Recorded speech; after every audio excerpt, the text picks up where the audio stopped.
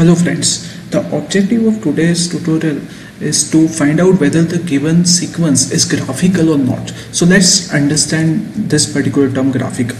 So before that let's understand what is the degree sequence of the given graph.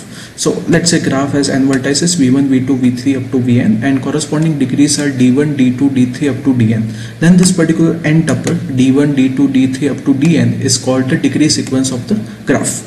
Now we are interested in the reverse question. Let's say one sequence is given, sequence of non-negative integers is given and we are supposed to say whether a simple undirected graph with this potential degrees sequence exists or not.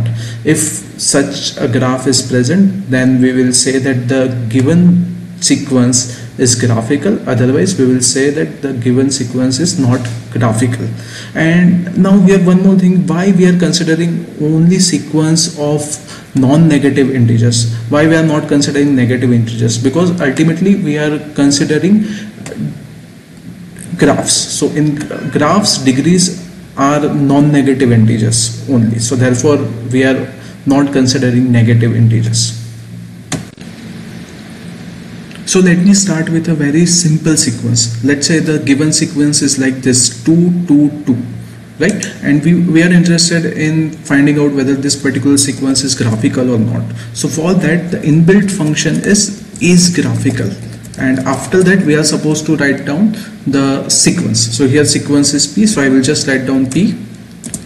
And as you can see the answer is 2 and this is correct because ultimately the sequence is corresponding to c3 or k3 now uh, if you are aware then there are two criteria for uh, in order to identify whether the given sequence is graphical or not namely Havel-Hakimi and Erdős-Gallai so you can also specify whether you want to use let's say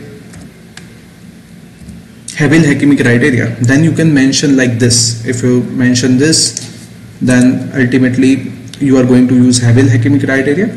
And if you mention EG then ultimately you are going to use Erdős-Gallai.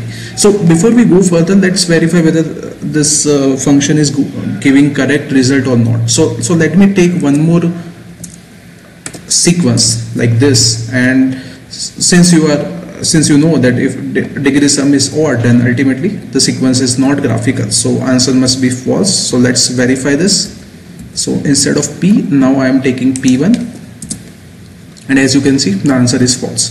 So now let me take some complicated sequences. So let me take one sequence q right? So q is this sequence 1 1 3 3 4 5 6 7 and now let's verify whether this let's see whether this sequence is graphical or not. So we'll just write down q here. So you can see it's false right? And you can verify this answer by yourself and let me take one more. So now I am taking this particular sequence R 4 4 4 4 4 5 7 6 and as you can see there is no criteria regarding uh, ordering of these numbers right? These numbers can be in increasing order can be in decreasing order and can can be in any random order. It doesn't matter. So all you need to do is you are just supposed to write this one line right? And it will say whether the sequence is corresponding to degree sequence of a simple undirected graph or not. So the main advantage of this function is you can easily verify whether you're after applying let's say Havel-Hakimi whether you are getting correct answer or not that you can easily verify by this.